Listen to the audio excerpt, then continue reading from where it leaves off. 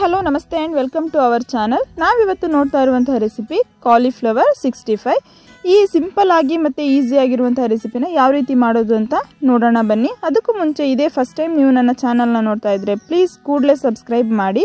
ಹಾಗೆ ಪಕ್ಕದಲ್ಲಿರೋ bell ಐಕನ್ನು click ಮಾಡಿ. ಈಗ ಈ ರೆಸಿಪಿಗೆ ಬೇಕಾಗಿರುವಂತಹ ಇಂಗ್ರೀಡಿಯೆಂಟ್ಸ್ ನೋಡೋಣ ಬನ್ನಿ.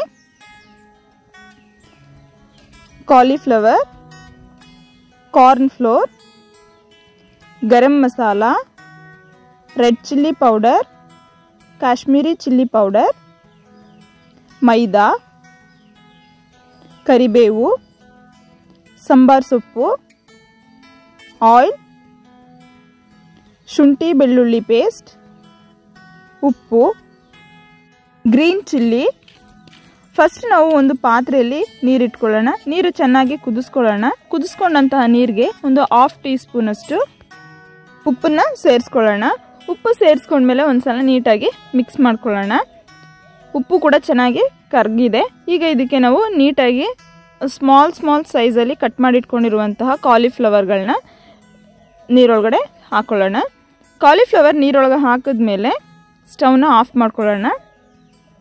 ಸ್ಟವ್ ಆಫ್ ಮಾಡಿದ್ಮೇಲೆ ಒಂದು ಟೂ ತ್ರೀ ಫೋರ್ ಮಿನಿಟ್ಸ್ ಇದ್ದರೆ ಸಾಕು. ಈಗ ಇದು ಓಕೆ ಈಗ ಒಂದು ಸಲ ನೀಟಾಗಿ ಮಿಕ್ಸ್ ಮಾಡ್ಕೊಳ್ಳೋಣ. ಈಗ ಇದನ್ನು ಒಂದು ನಾವು ತರಕಾರಿ ಸೋಸುವಂತಹ ಪಾತ್ರೆಯಲ್ಲಿ ಇದನ್ನು ನೀಟಾಗಿ ಸೋಸ್ಕೊಂಡು ತಣ್ಣೀರಲ್ಲಿ ಒಂದು ಎರಡರಿಂದ ಮೂರು ಸಲ ವಾಶ್ ಮಾಡ್ಕೊಳ್ಳೋಣ.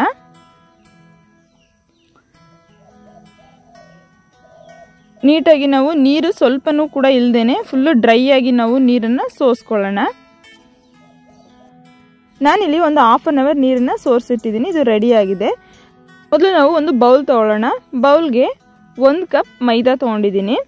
Next half cup cornflour cornflour ಇಲ್ಲ ಅಂದರೆ ಅಕ್ಕಿ ಹಿಟ್ಟನ್ನು ಕೂಡ ನಾವು ಹಾಕೊಬೋದು.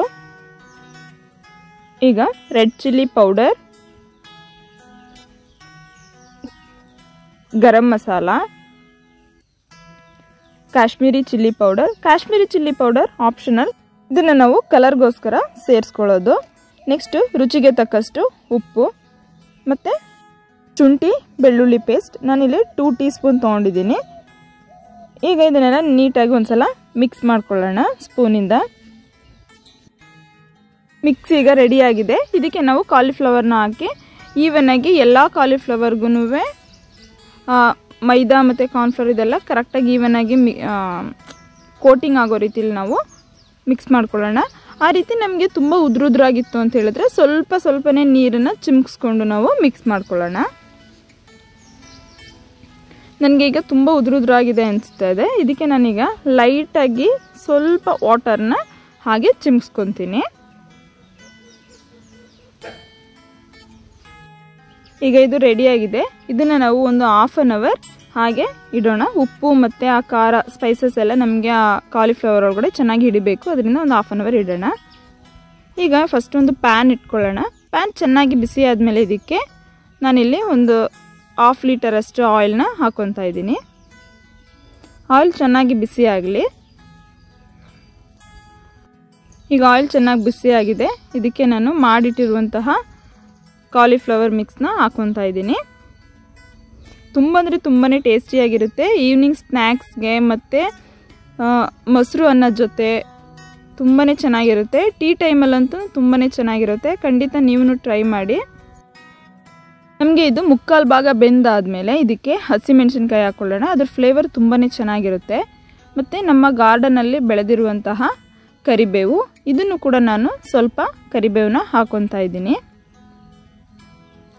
ಕರಿಬೇವು ಮತ್ತು ಗ್ರೀನ್ ಚಿಲ್ಲಿದು ಫ್ಲೇವರ್ ತುಂಬಾ ಚೆನ್ನಾಗಿರುತ್ತೆ. ಆಯಿಲ್ ಜೊತೆ ಮಿಕ್ಸ್ ಆಗಿ ಕಾಲಿಫ್ಲವರ್ ಜೊತೆ ತುಂಬಾ ಚೆನ್ನಾಗಿ ಆ ಫ್ಲೇವರ್ ಹಿಡ್ದಿರುತ್ತೆ. ನಮಗೆ ತಿನ್ನಬೇಕಾದ್ರೆ ಅದರ ಸ್ಪೈಸಸ್ ಎಲ್ಲ ಅದ್ರ ಜೊತೆಗೆ ಈ ಹಸಿಮೆಣಸಿನ್ಕಾಯಿ, ಕರಿಬೇವುದು ಫ್ಲೇವರು ಕೂಡ ತುಂಬಾ ಚೆನ್ನಾಗಿರುತ್ತೆ. ಖಂಡಿತ ನೀವೂ ಟ್ರೈ ಮಾಡಿ. ಈಗ ಇದು ರೆಡಿಯಾಗಿದೆ ನಾವು ಇದನ್ನು ಒಂದು ಪ್ಲೇಟ್ಗೆ ಎತ್ತಿಟ್ಕೊಳ್ಳೋಣ.